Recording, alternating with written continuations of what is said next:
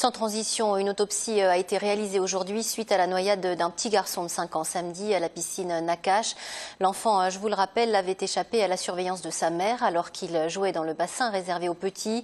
Secouru euh, immédiatement par les maîtres nageurs qui lui ont prodigué les gestes de premier secours.